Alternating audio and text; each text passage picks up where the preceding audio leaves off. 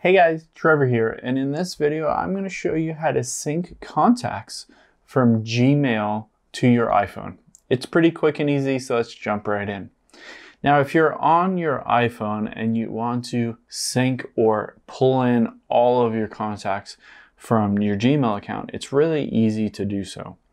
The first thing that we'll do is we will head into our settings here once we're in settings, we will scroll down until we find contacts. So right below mail is contacts. So we tap on that and you can see right under Siri and search is accounts. So we'll tap on accounts and this is where we are going to sync all of those Gmail contacts over to our iPhone. So we're going to hit the add account button right here. We're gonna hit Google. It'll ask to sign in, so we'll hit continue. This is where you just enter in your email address and your password. So sign into your Google account that you want to sync the contacts from your Google account or Gmail over to your iPhone.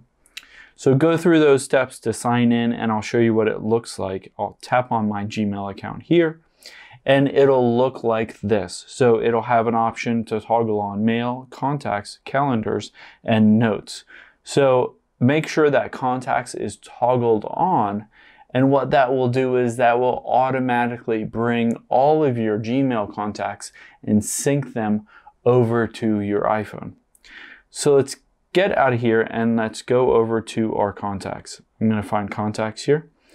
And at the very top left here, we can see groups. I can tap on that and you can see an option for Gmail right there. So all Gmail and then untitled group as well. So make sure that's toggled on so it shows all of those Gmail contacts.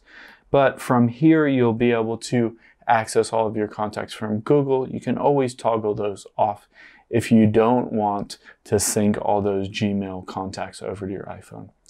Hope this helps. Let us know if you have any questions in the comments below and make sure to subscribe. Thanks.